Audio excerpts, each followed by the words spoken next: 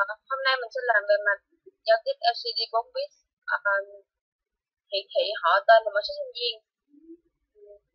LCD các chân D0 đến D7 là nói với chân D0 và đến RD7 của 16F 1857 à, chân à, các chân RE0, RE1, RE2 nói với R, à, lần lượt là RSWE sau đó là chúng ta sẽ viết viết code của mạch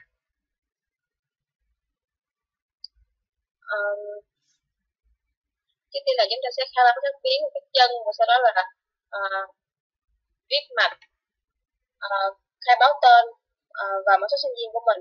Uh, mã số sinh viên của mình là một năm một bốn một năm hai và sau đó là um, cho mặt chị thử.